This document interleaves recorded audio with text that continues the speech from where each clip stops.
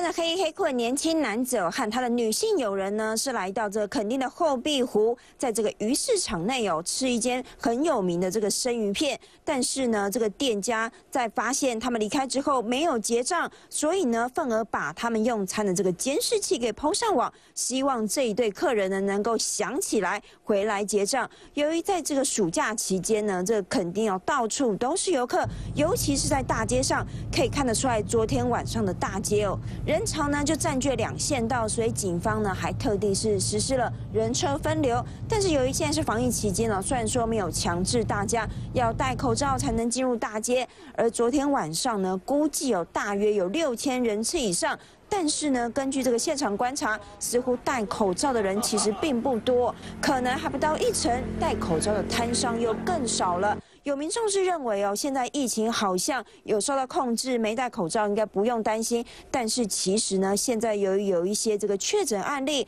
所以这个卫生单位还是希望民众可以多一分警觉，比较安心。